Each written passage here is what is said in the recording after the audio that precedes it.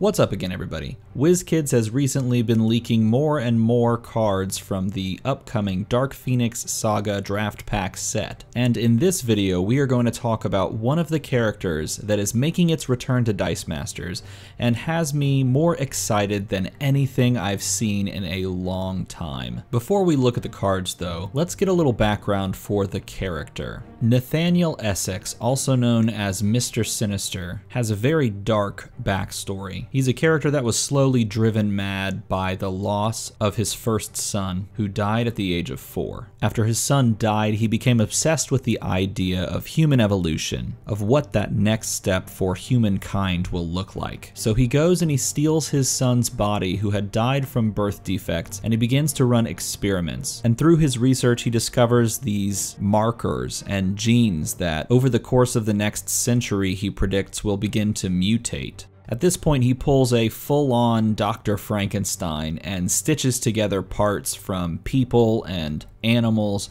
to try and create a representation of what this mutation might look like. And of course, doing so draws the ire of the entire scientific community. Nevertheless, he continues his research into mutation and human experimentation. This continues until his wife finds out what he's been doing. And of course, because all of this research stemmed on the death of their four year old son, a rift is driven in between them. This is, of course, all happening while Nathaniel's wife is pregnant with their second son, and eventually she begins to give birth prematurely, and sadly the baby doesn't survive. The doctors also tell Nathaniel that his wife won't survive the experience either, and some of her final words to Nathaniel are, to me, you are utterly and contemptibly sinister. These parting words drive Nathaniel to make a deal with Apocalypse, who agrees to give Essex genetic mutations to extend his life, as well as the host of other powers. And of course, once this happens, Mr. Sinister is born. A villain with prolonged life, super strength, a healing factor,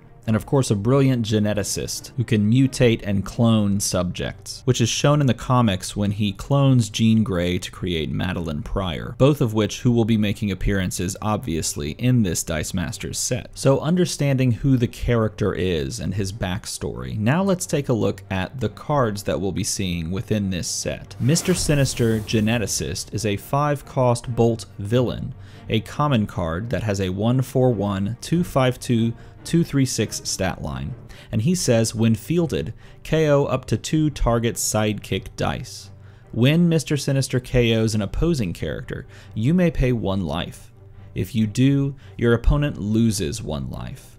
It also has a brand new global that says pay two bolts. Target non sidekick character die gains the deadly keyword. So here we have a strong when fielded effect that can remove either your own sidekicks or your opponent's sidekicks, combined with a very interesting life loss ability. If you target two of your opponent's sidekicks with his first when fielded effect, you can then choose to lose two life, and your opponent would then lose two life as well. Very interesting. In my opinion, however, the ability on the card is secondary to this brand new global. Paying two bolts to give something the deadly keyword is incredibly powerful in casual and in competitive play. If you think back to the meta video I released a few days ago, large attacking characters like Godcatcher and Becky clearly in the top tier of the meta, and characters that can remove them are incredibly important right now. So much so that people are running two cost characters that only have the deadly keyword, just so that they can deal with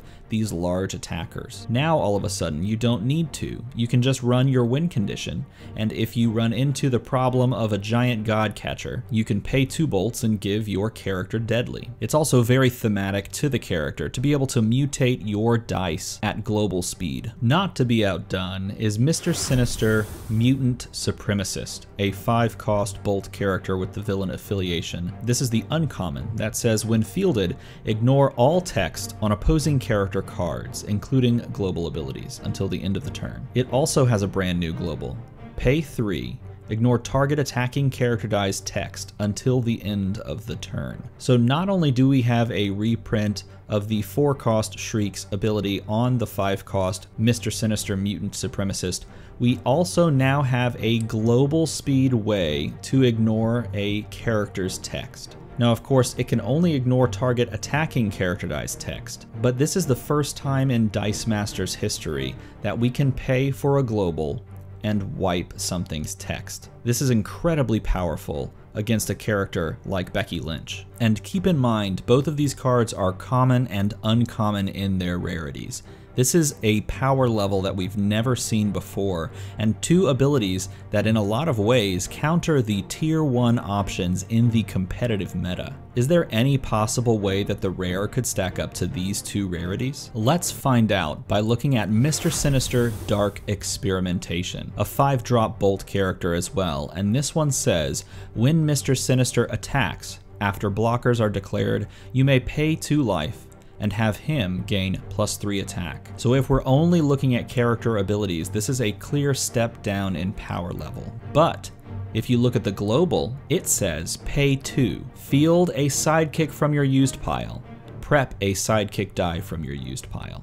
This is the Atlantis Global, but now it is not based on a fist and a shield. This is the Star Labs Global, but it is not based on a bolt and a shield.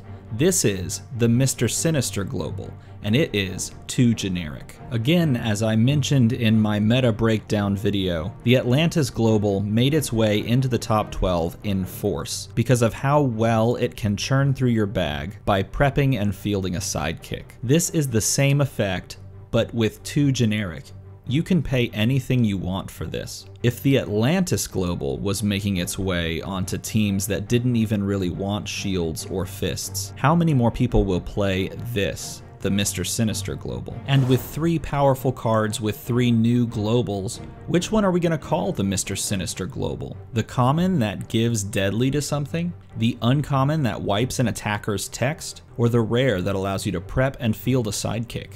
Definitely food for thought, but if you thought we were done, you'd be wrong, because we have one more card to look at, and that is Mr. Sinister Biologist, the 6 cost Bolt Villain Super Rare that says while Mr. Sinister is active, prevent non combat damage dealt to your other character dice. And of course, Mr. Sinister gets another brand new global, and perhaps the most powerful of them all. This one says pay 3 target character die gains Overcrush. This is nothing short of incredible. Again, for the first time in Dice Masters history, we can now give Overcrush to any character die at global speed. This singular character, these four cards, these four globals, have the capacity to completely upend the current competitive meta. And how amazingly thematic is that? What character would be better to twist and distort the meta than the mad scientist himself, Mr. Sinister? If you enjoyed looking at these cards and if you'd like to see more spoilers from this set, leave a comment down below, click like, and hit the subscribe button. These were not the only spoiler cards that I received from WizKids, and if you would like to see more, then hit like, hit subscribe, and and leave me a comment, and I'll get cracking on making more videos. Before you go, don't forget to chime in down below on the question of the day, and today's question is, which of these four cards and which of these four globals do you think will be the most impactful at changing the competitive meta? Sound off below, and as always, thanks for watching.